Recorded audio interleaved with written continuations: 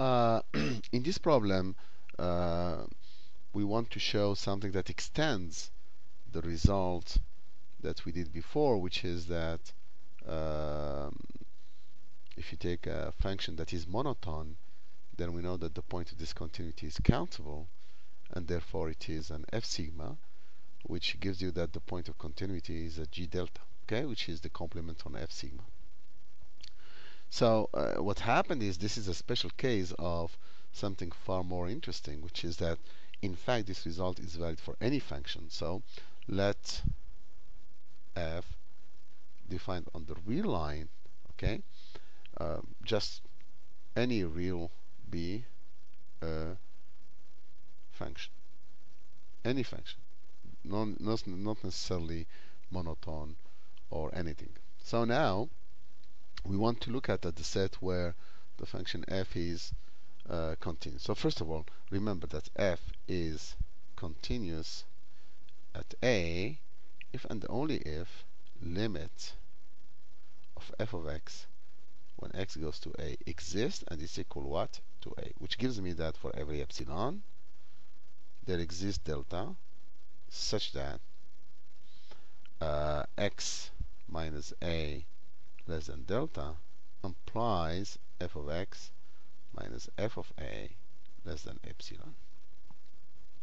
So in particular, we can replace this by uh, x belongs to a minus delta, a plus delta. Okay? And what's interesting is that if we take now any x and x star, okay, so this is just an implication of this, that if x and x star are two elements in a minus delta, a plus delta, then what's going to happen is that triangular inequality will give us that this is less than 2 epsilon. Okay? So if I start with epsilon over 2 here, okay, then what we're going to find here is just epsilon. Okay? So this brings me to the following uh, set for the function f, which is fix epsilon and consider a epsilon, which is the set of a such that there exists delta positive such that uh, for any x x star in a minus delta a plus delta we have f of x minus f of x star less than epsilon.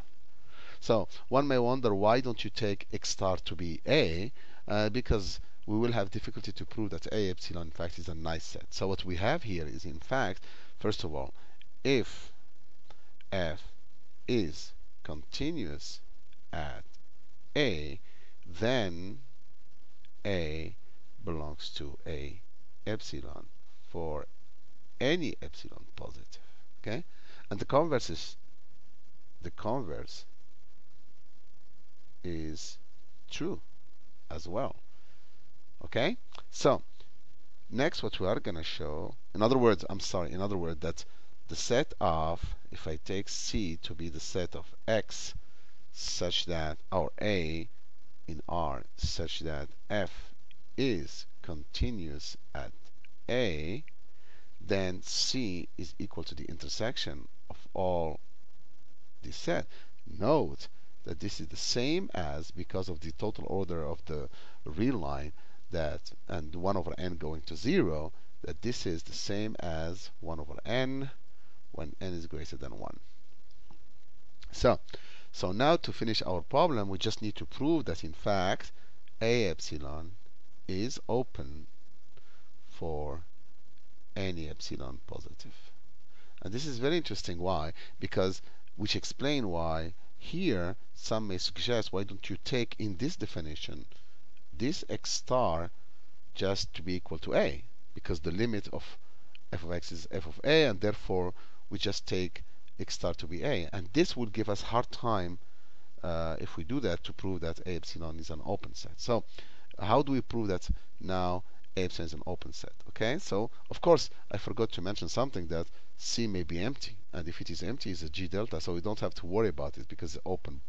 So here we will assume that C is not empty, and therefore A epsilon is not empty. Okay, so let A belongs to A epsilon. Okay, so we know that there exists delta such that we have the definition that for every x x star in A minus delta A plus delta we have f of x minus f of x star less than epsilon. Okay? So in this case what happened let me do it on on the real line uh, to express. So this is just a note. Okay so here it is. You have a here a minus delta and a plus delta. Okay? So now we're taking a b. Let's take b in this interval somewhere. Okay? So let's say b is here. Since the interval is open then we can find a delta bar such that so here let uh, delta bar uh, let's b sorry sorry. Uh, um, so what's gonna happen? So let's b belongs to a minus delta a plus delta. So in this case because it is open there exists delta bar such that positive such that the interval b minus delta bar b plus delta bar will be included in a minus delta a plus delta. So in this case what happened? For every x x star which belongs to b minus delta bar b plus delta bar okay then we have that x x star belongs to a minus delta a plus delta which implies that f of x minus f of x star will be less than epsilon. In other words we found a delta bar for any b in this interval. We found a delta bar such that so we found that for uh, sorry for any b in a minus delta a plus delta okay we found that b belongs to a epsilon because we found that delta bar such that okay? Which implies that in fact that a minus delta a plus delta is in a epsilon.